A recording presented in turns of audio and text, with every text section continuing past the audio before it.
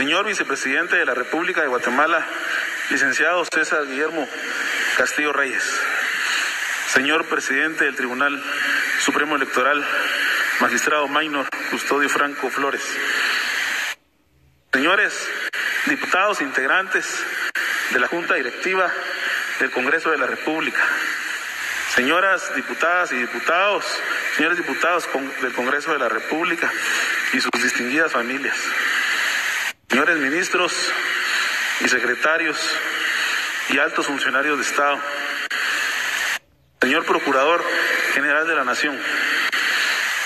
Señoras y señores magistrados del Tribunal Supremo Electoral, excelentísimos y honorables integrantes del cuerpo diplomático, organismos internacionales y honorables delegaciones de los países amigos que nos acompañan, medios de comunicación nacionales e internacionales que nos acompañan, señoras y señores, honorable pleno, hoy quiero iniciar mis palabras agradeciendo primero a Dios, a los médicos y a las miles de personas que elevaron sus oraciones y pidieron por mi recuperación plena.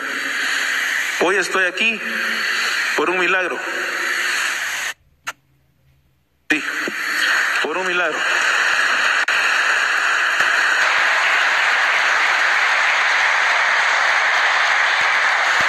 Y por la, la gran misericordia de nuestro Dios, bueno, que nos quiere y protege, que en lo personal me ha dado una segunda oportunidad de vida.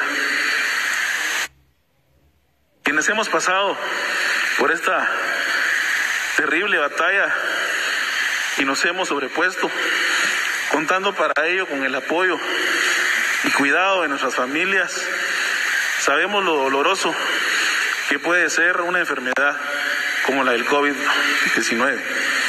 Pero también sabemos que esas luchas nos hacen más fuertes, más humanos y más solidarios. Hoy nos reunimos acá para celebrar la vida. Así es, mis hermanos y hermanas.